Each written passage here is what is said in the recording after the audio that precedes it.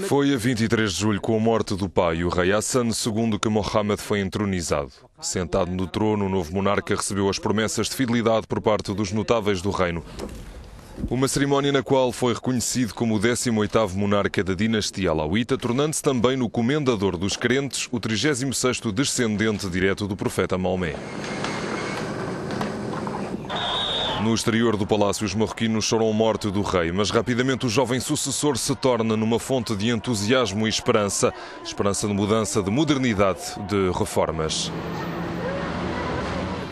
Uma das primeiras e mais marcantes reformas foi o Código da Família adotado em 2004. Este código dá praticamente os mesmos direitos às mulheres do que aos homens, apesar da hostilidade dos islamitas radicais. No mesmo ano, Mohamed VI reabilita as vítimas dos anos de chumbo ao amnistiar vários prisioneiros, mas rejeitou condenar os responsáveis e pedir desculpa em nome do Estado. Mas rapidamente esta vontade reformista e de levar a cabo uma transição democrática mostrou os seus limites. Mohamed VI é um monarca constitucional com uma missão divina. Ele é a autoridade religiosa suprema e acumula uma série de prerrogativas políticas.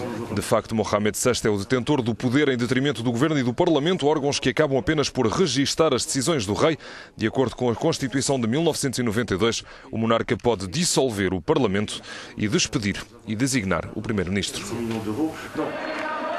Mas os marroquinos querem mais. Desde o início do ano que exigem mais democracia, mais igualdade social e económica, muitos são os que pretendem ter um rei que reine, mas que não governe.